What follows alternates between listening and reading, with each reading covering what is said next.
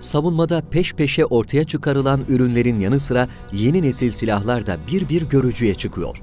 Vurulması güç drone ve insansız hava araçları tek bir kurşun dahi atılmadan imha edilebiliyor. İşte bu yeni nesil silahlardan biri ise yönlendirilmiş enerji silahı YES. Savunmadaki Türkler programı bu haftaki bölümünde söz konusu silahlar arasında dünyada bir ilk olan Alka'yı inceledi.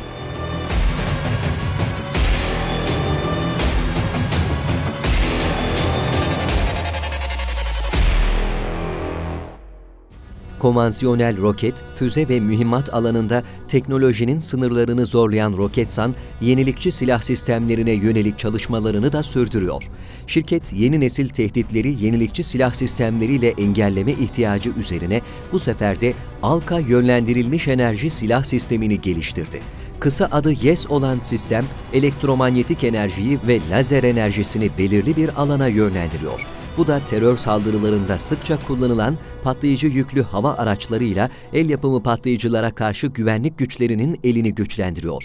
Alka sahip olduğu elektromanyetik karıştırma sistemi, lazer tahrip sistemi ve elektromanyetik tahrip sistemi sayesinde kullanıcıya 3 kademeli bir savunma yeteneği kazandırıyor elektromanyetik enerjiyi ve lazer enerjisini belirli bir alana yönlendirebilen Alka, elektromanyetik karıştırma yeteneğiyle tek veya sürü halindeki dronları etkisiz hale getirirken, lazer tahrip yeteneğiyle de dronların ve el yapımı patlayıcıların güvenli mesafeden imha edilmesine imkan sağlıyor.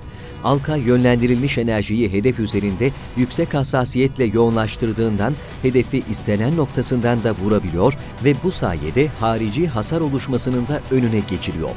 Işık hızında reaksiyon gösteren ve gece ve gündüz şartlarında kullanılabilen sistemin atım başı maliyeti ise klasik mühimmatlara göre çok daha düşük kalıyor. 4 kilometreye kadar karıştırma yapabilen sistem 500 metreye kadar havada ve karadaki hedefleri imha edebiliyor. Alka kullanıcı ihtiyaçlarına göre mobil veya sabit olarak da kullanılabiliyor.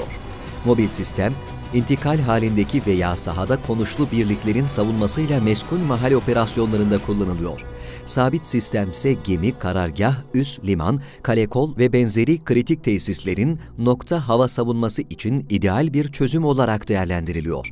Alka üzerinde bulunan radar ve elektrooptik sistemlerle aynı anda birden fazla hedefin takibi ve imhasını da gerçekleştirebiliyor.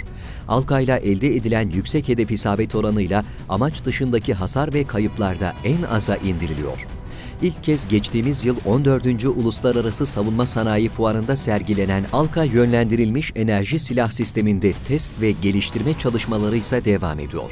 Testlerde ALKA döner ve sabit kanatlı dronlarla yapılan sınır ihlallerinde hedefleri başarıyla izleyip imha ederken lazer atışlarıyla el yapımı patlayıcıları da etkisiz hale getirdi yeni silahlarıyla dünyada bir ilk olmayı hedefleyen Roketsan, bir tesisini ise olası drone saldırılarına karşı Alka yönlendirilmiş enerji silah sistemi ile koruyor. Yönlendirilmiş enerji silahları sahip olduğu operasyonel potansiyeliyle savaşların da boyutunu değiştirecek kinetik ve kimyasal güçteki silahların yüksek maliyeti olmasının yanında günümüz savaşlarında yetersiz kaldığına dikkat çeken uzmanlar, yönlendirilmiş enerji silahlarının çok üstün özelliklere sahip olduğuna dikkat çekiyor. En hızlı füze 8346 km saat hızla hareket ederken YES ise ışık hızında yani saatte 300 bin km hızla tepki veriyor. Mühimmatı da sınırsız olan yeni nesil silah YES'ler enerji kaynağı kesilmedikçe sürekli atış yapabiliyor atış, tamir ve bakım maliyetleri kinetik ve kimyasal silahlara göre oldukça düşük olan yönlendirilmiş enerji silahlarıyla bir atışın maliyeti Patriot füzesinin fırlatması 3.3 milyon dolarken sadece 1 dolar olarak ifade ediliyor. Savunma uzmanları frekans ve enerji miktarı ayarıyla hedefteki zararın belirlendiği YES'lerle ölümcül ve barışçıl çözümler üretebileceğine de vurgu yapıyor.